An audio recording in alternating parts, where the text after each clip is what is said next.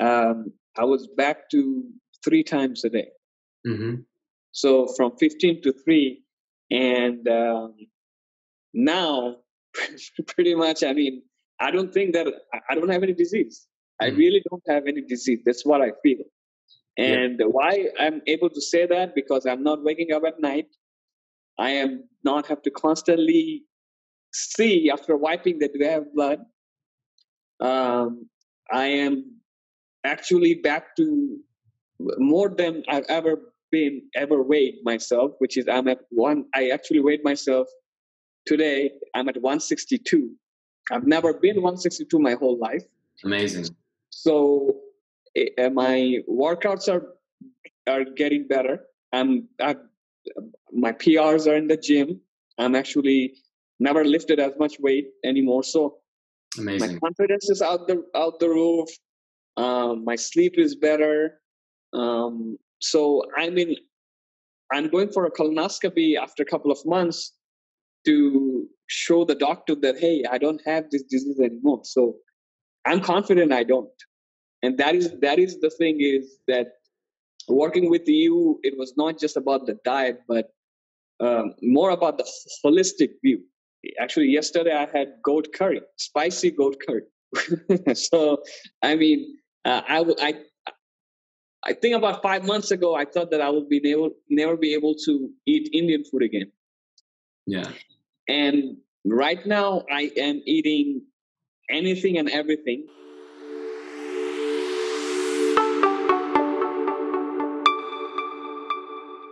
To kick things off, um, if you could maybe just give like a little bit of background on yourself um, and your diagnosis.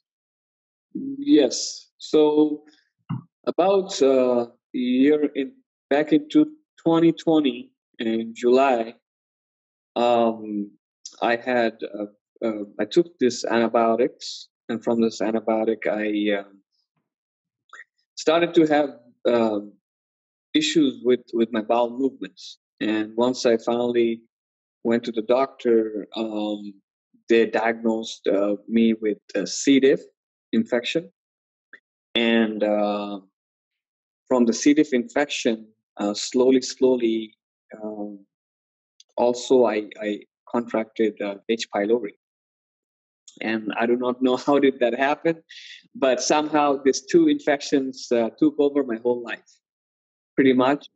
Um, they they've provided me a lot of antibiotics, uh, which is the hardest antibiotic available in the market.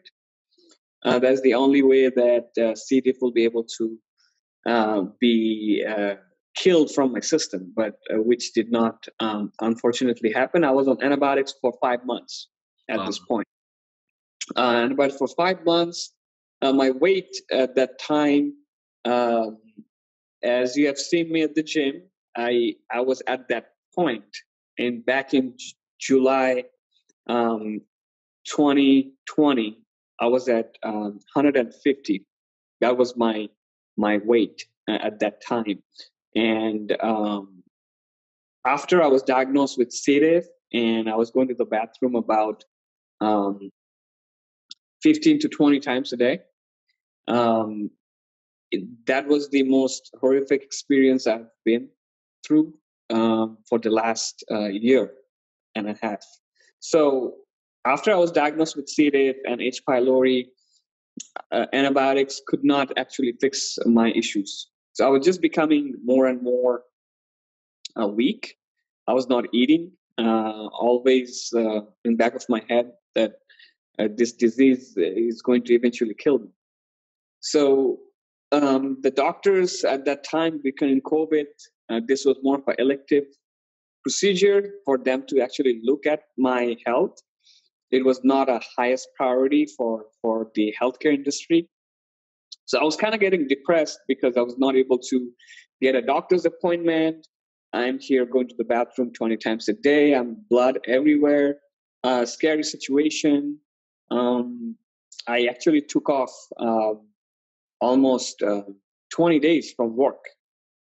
And I was uh, going to give, um, going to go and give this company uh, about uh, being a disabled person. So even though uh, I don't have any disability, it, it put me to uh, to that level of of the same kind of being a disabled person. So I was kind of getting depressed and and really losing hope on what's going to happen to me. So um, they were not able to cure it, like I was mentioning through through antibiotics. So the final draw was that they need to do a colonoscopy and um, and fix the C. diff infection. So, mind you, at this point, uh, ulcerative colitis did not into come into uh, in, in, in con- consideration um, on on ulcerative colitis at all. This this diagnosis for colonoscopy was to actually do a stool transplant. So I had to uh, go to the last resort is is getting the stool transplant done. Uh, that way, they can actually do some um, uh, restoration of the gut microbiome through the stool transplant. Um, so after I got the stool transplant, and that is when uh, the doctors came back and told me that I have two issues that's going on. One is the H. pylori has uh, created ulcers throughout my whole stomach.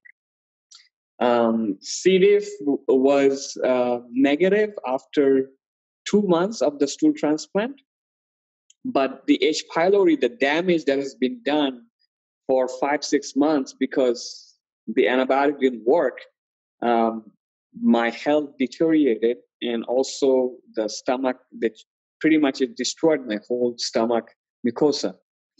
So um, on top of that, I was also informed that I had esophagus cancer um, within the same diagnosis. So it was a blessing and a curse at the same time um, that I was diagnosed with with ulcerative colitis, but at the same time, I was diagnosed with the horrific. Uh, anybody can get the horrific news of having cancer, and um, so I went through some cancer treatments. They were able to uh, go through some laser therapy and such to get rid of the cancer cells. But at the end, what I was left with with was a stomach full of uh, ulcers. And um, I think I've sent you the uh, the the images or not, but I will send it to you. Um, but it was pretty horrific. Um, after even uh, getting back from the stool transplant and uh, uh, getting rid of the C. diff and getting rid of the H. pylori, eventually, uh, I was still going to the bathroom about about 15 times a day. So that's when I met you, um, you know, and that's when our journey uh, started, mm-hmm. pretty much. And this is uh, where I am right now. Yeah, dude, wow. Um, I mean, I, I work with uh, with quite a few clients, and there's gonna probably going to be quite a few people interested watching this because a lot of the inquiries um, that get made with me, and a lot of my uh, existing clients, potential clients, um, you know, come from a sort of similar um, ish background. Some of them specifically with C. diff, um, and some of them not necessarily, you know, with C. diff and H. pylori, but some degree of like microbial imbalance is oftentimes what drives the onsets um, of UC symptoms and of that disease slash diagnosis. So I actually had a similar-ish um, situation. Um, I didn't have C. diff, but I um, got a Campylobacter um, infection years ago, um, which set off like a cascade of internal events um, like my uh, gut was ravaged. I ended up um, severely ulcerated and bleeding. Um, and so yeah like an infection was the onset of kind of my uh, diagnostic story as well. Um, out of interest dude like when you were going through this like you know before you and i started working together um, what were you doing diet wise like was there anything that you were trying diet wise to try and resolve it so the doctor pretty much sent me home with mesalamine and told me that there will be uh, no problem. You can have whatever you want, um, and just uh, make sure you take mesalamine uh, for the rest of your life. Yeah. and uh, I don't think that doctor's advice worked pretty well because I was back in the toilet after after um, going and having some pasta. Mm-hmm. So um, I I thought that hey, you know what? Um, I went back to the doctor after a month. I'm like, hey, you know, I'm still going to the bathroom. There is still um, blood. He's like, well, what did you do? I'm like, hey, I just had some some some you know pasta, and then also I went out um, for for being able to actually beat uh, uh, cancer.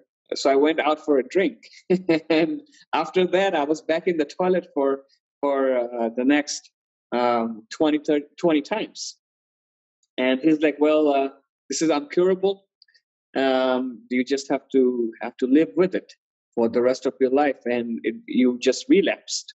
Mm-hmm. So, in order to have the relapse, you just have to make sure that uh, you take the mesalamine and um, you just have to uh, pretty much the doctor said that i just have to accept that this is will be with me for the rest of my life mm-hmm.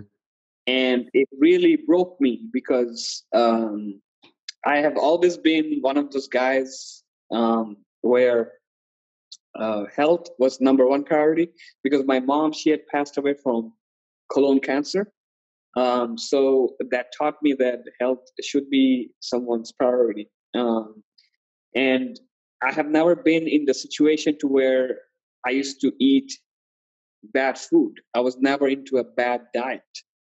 Um, so it was it was amazing that the the uh, American uh, Medical Society uh, they are very eager to put a band-aid, but not cured the the actual uh, the root because mm-hmm. So I was just pretty much sent home that hey, eat whatever you can.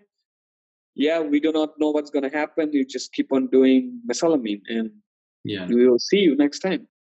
I mean, to, to, to say that these things do not have their roots in diet and lifestyle is phenomenal. Um, you, you, you know, or that they, or that at least they can be severely uh, affected by diet and lifestyle is crazy the fact that doctors are still saying that I find wild. Um, and also doctors saying that you know there's nothing you can do. You're you're just going to have to go through this endless cycle of remission and flares. Like that's a really sad story. They're basically saying, listen, this is going to be the rest of your life. You can take these pills and you can hopefully limit the number of um, flares you go through, but ultimately this is going to be your existence and your you know chances of getting sick in the future are going to go right the way up. Um, and because people these days hold doctors or you know at least traditionally have held doctors in such high esteem um, and i think a lot of doctors should be held in high esteem right? Like doctors have saved my life doctors have saved your life doctors have saved many people's lives. I'm not saying let's be you know anti uh, western medicine but i think we also need to recognize um, the shortfalls of it. You know like I, I think there's a hell of a lot um, that we can do diet and lifestyle wise and you're and you're a living proof of that um, that the medical profession seems to be unaware of, and I think that's pretty sad. Um, but yeah, dude. So, um, uh, so you and I started. Um, I mean, how long ago did we start working together? Now, um, what was the what was the date? Did, do you remember what, which which month it was?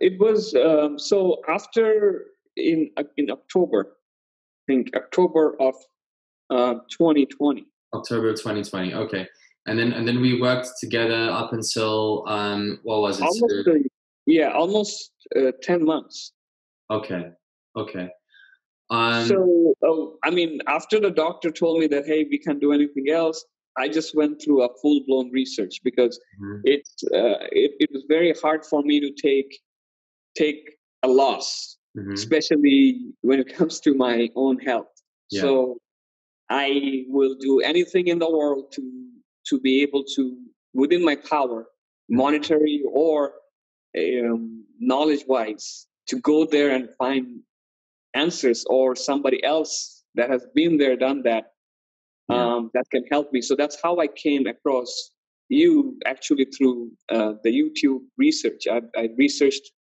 uh, a lot on YouTube, and finally, I, I, thought that you would be one of the person that can really uh, give me some hope. Because at that time, I was losing hope of life. Yeah, yeah, yeah, dude. It's it's it's it can be a very lonely place to be. Um, you know, like uh, whilst IBD affects like three million or so people in the U.S., like you don't know those three million other people, right? right. Like it's uh, it's it's a pretty lonely place to be. Uh, generally speaking, you're the only person like in your friend group or social group or family who's yeah. had kind of that experience, and there's not really that much real empathy. Therefore, that you can get from a lot of people. There's not really that many people that share your pain or anything. Um, right. But um, all right, dude. Yeah. So can you maybe just talk a little bit um, about, um, I guess, you know, what we did on the program, or sort of um, what happens um, when you and I started working together? Yeah. So I mean, you came up with uh, with a plan on pretty much cut, cutting out, you know, most of the fiber-rich foods. Um, the concentration was slowly introducing the you know the vegetables and such, but um, meat was the number one on the menu. Mm-hmm. So I, I think when I started working with you, after going through the cancer and stuff, I was at 150. When I started working with you, um, I was at 125. Yeah. So that is when um, I have lost almost uh, 25 pounds um, of body weight and I'm I'm usually a, a, pretty slender guy. So when I lose weight, it's actually I'm not losing any fat. I lost all my muscles that I've built for the last three to four years of yeah. hard work. Dude, so, as, uh, as someone who loves going to the gym, I understand how painful that would be. Um, I, I remember, so my last flare, um, which is a while ago now, but um, I remember. I think I, I, think I was I was probably like 205 at one point. Like I'm quite a tall guy, quite wide, um, and I, I was like 205, but I went down to less than 170. So I I lost um, whatever that is. I lost like 35, 40 pounds or something, which is it's is a, a wild amount of weight. And I definitely understand the impact that has on like you know your confidence you're getting um, you know comments from friends and family members who are not necessarily trying to be rude or anything. It's just difficult to listen to the whole time when you're looking at no, yourself in the mirror. I am a very outgoing guy but um, i did not i did not actually go out anywhere for six months.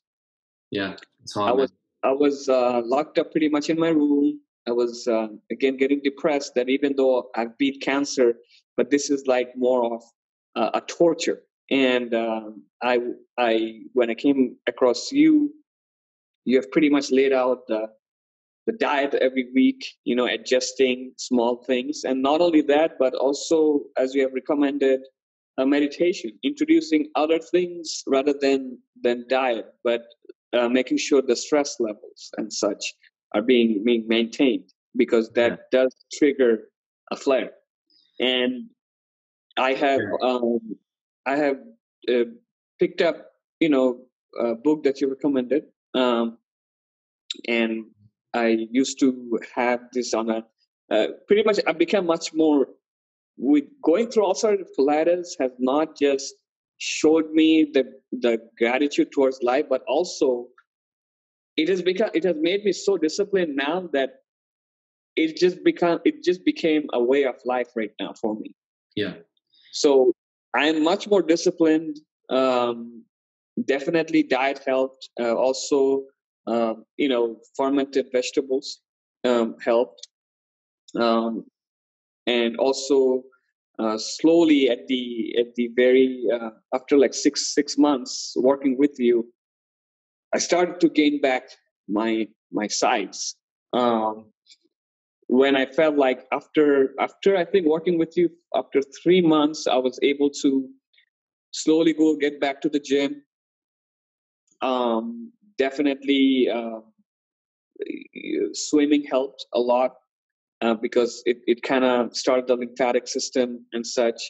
Um, but also the working out, things started to taper off. That I'm not going to the bathroom as much.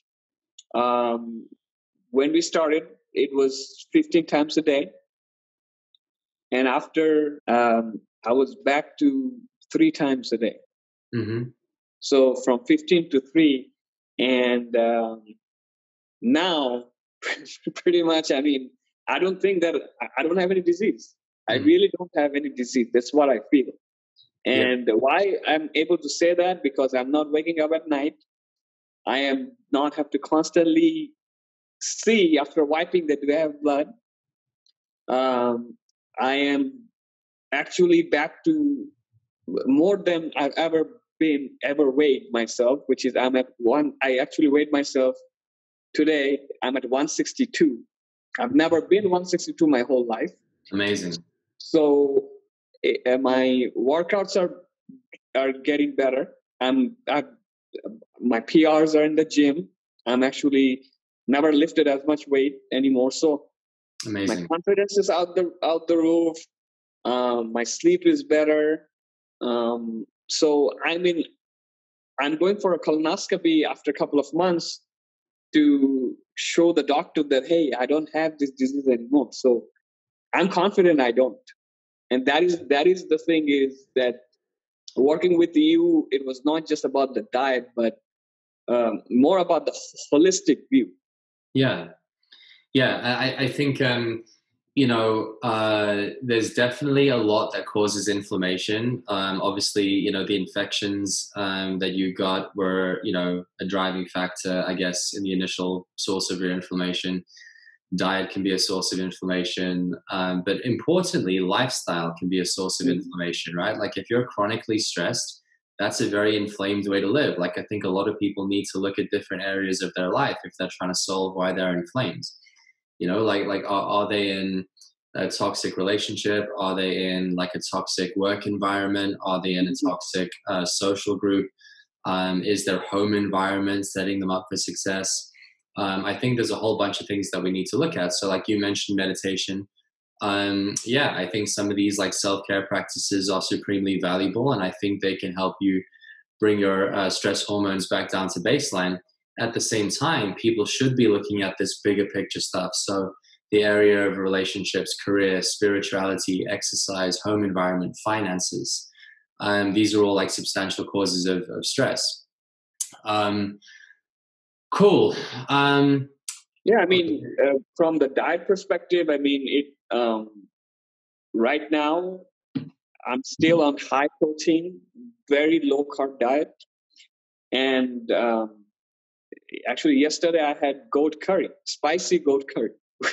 so, I mean, uh, I, I I think about five months ago, I thought that I would be able, never be able to eat Indian food again. Yeah.